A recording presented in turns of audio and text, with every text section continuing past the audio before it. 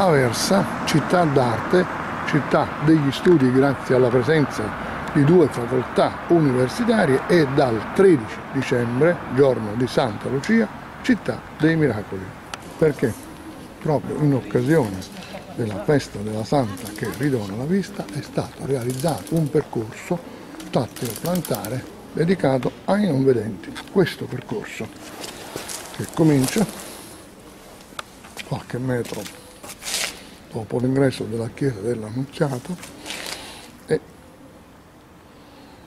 consente ai non vedenti, passeggiando su queste particolari mattonelle dotate di rilievi che possono essere percepiti dal piede del non vedente, di camminare senza alcun aiuto.